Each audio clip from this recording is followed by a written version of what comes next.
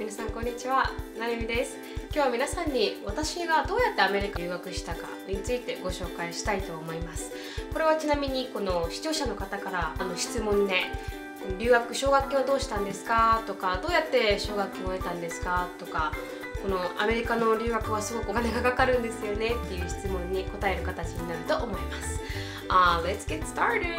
私は高校3年生、前にも話したんですけど、高校3年生の17の時に留学してるんですが、留学をなぜしようと思ったかっていう動機について聞いてる人がいるので、その人の質問に答えたいと思います。実際に前のこの質問にも答えたんですけど、洋楽が好きだったからとか、アメリカ人が好きだったからとか、そういう理由ではなくて、全然洋楽も聞いたことなかったし、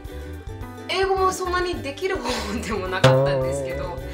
この小さい時に私あのミュージカルをやっててこう演技をしていろいろやっていきたい過程の中で海から豚がやってきたってここに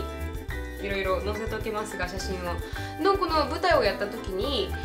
2回ほどアメリカに行く機会があってこのパフォーマンスをしないといけないって言ってアメリカで公演をする活動1回はハワイもう1回はロサンゼルスでの公演が2回あってでその次はこの今度は戸部小橋っていうまたここに私がやったこの舞台の写真を載っけるんですがそのそれで今度はまたロサンゼルスの方に公演をしに行ったんですね。で3回程度私アメリカに運よくそういう舞台の関係で行ったことがあって一番最初に行った時はもう10歳ぐらいだったので1週間泊まったか泊まらないかぐらいなんですけどでその時に一生懸命ダンスして踊って伝えようとしているのにこんなにも英語が通じないことでこの感動を共有できないのかっていうことがすごくショックで。じゃあ英語が喋れるようになれば多くの人ともっとコミュニケーション感動を分かち合えるんじゃないかっていう印象があって小さい時から。アメリカっていいなって英語が喋るようになりたいなって思ったのが本当に最初のきっかけで。中学の時に私受験するんですけど中学3年の時の受験で、まあ、塾に行って受験の対策をしてって言ってでもし落ちたら3年間アメリカに行こうって思ってたんですね最初は。でもそれで落ちずに 運よくこの入りたい学校に入れて別に英語科でも何でもなくて普通科の学校に入って、まあ、この高校に入った時はこの留学するってことも全部忘れてて自分の中では。でだからこのハンドボール部に最初入るんですね。3ヶ月やってた時に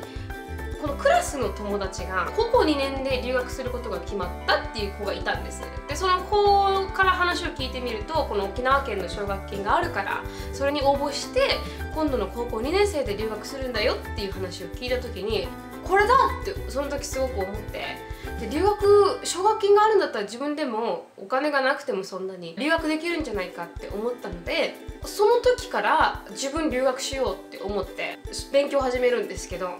で留学しようと思った瞬間にこのハンドボール部に入ったんですけどそれは「すいませんあのハンドボール部やめます」って言ってその留学したいので勉強をしますって言ってやめてできるだけこの県の奨学金がもらえるために勉強していくんですけどそれは何だったかっていうと沖縄県高校生米国派遣授業っていう授業があってこの沖縄県の授業を請け負っているのが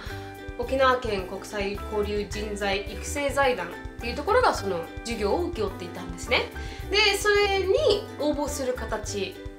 だったんですけど留学したいと思ってまず親に行ってそしたらいいんじゃない？ってやってみたらって言われたので私はそこからできるだけ自分が留学したいってことをこの声に出すようにしたんですね。先生にもあらかじめ自分留学したいんだけどって次の募集が来たら絶対に知らせてくださいって先にお願いしてもし何かいろんなこの留学ができる機会がある募集がかかったら何でも私にお知ら知らせてくださいって。先にこの先生担任の先生にお願いして。そしたらその次は掲示板を見てどういうこの奨学金プログラムがあるのかっていうのを探してっていろいろ探していってその次の年の募集がやってくるんですけどそれで私は募集したんですね。その時が多分高校2年生か1年生の時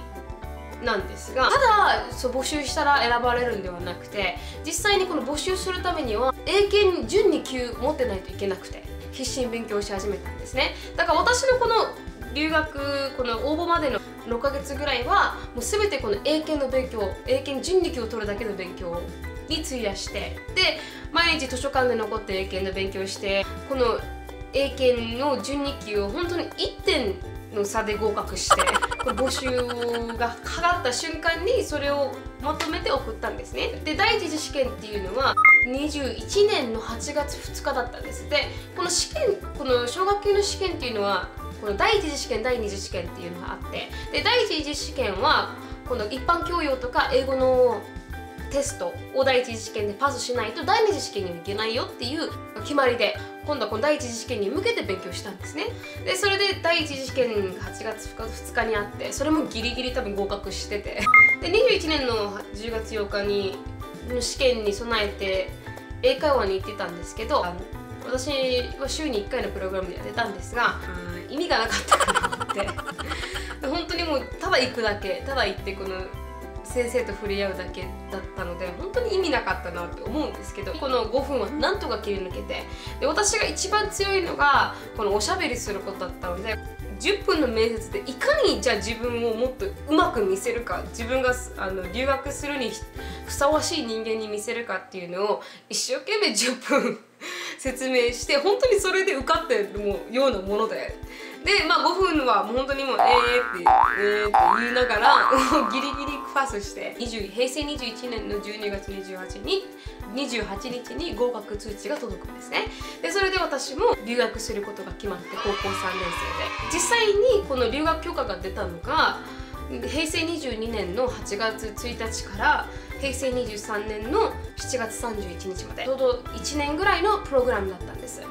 またこの沖縄県国際交流人材育成財団が今度は YFU 高校国際プログラムっていうか留学プログラムを専門にやっている団体にお願いしてたんですけど YFU の人たちが留学までのこのチケット全て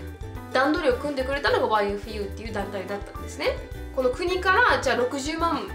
あのあなたに奨学金として渡しますよって言って国から60万もらって。でそれで足りなかった分を文部科学省から40万って言ってトータル100万もらって。で留学することになったんですけど実際に留学は200万ぐらいかかるんですね高校留学の時は。でその他の100万は自分で負担しなければならなかった。100万は何だったかっていうとこれ予防注射。もう本当に右から左に6本ずつぐらい予防注射を打たれて。ビザの申請のためのお金だったりとかこの手数料 YFU の人たちがこの留学するために取る手数料だったりとかっていうのを合わせるとやっぱりトータル100万ぐらいあとはかかったんじゃないかなって思います。留学する前にこの YFU っていう人たちがこのランゲージキャンプっていうのを主催してくれて英語で3日間のキャンプをしたりとかいろいろこういうこの行く前のプログラムもあってそれで私は留学しているんですでこれが私の奨学金についてとその動機についてのお話でした Thank you so much for watching I hope you're having a great day um, if not then just smile right it makes it a lot better well please give me a thumbs up if you like the video and I'll see you in my next one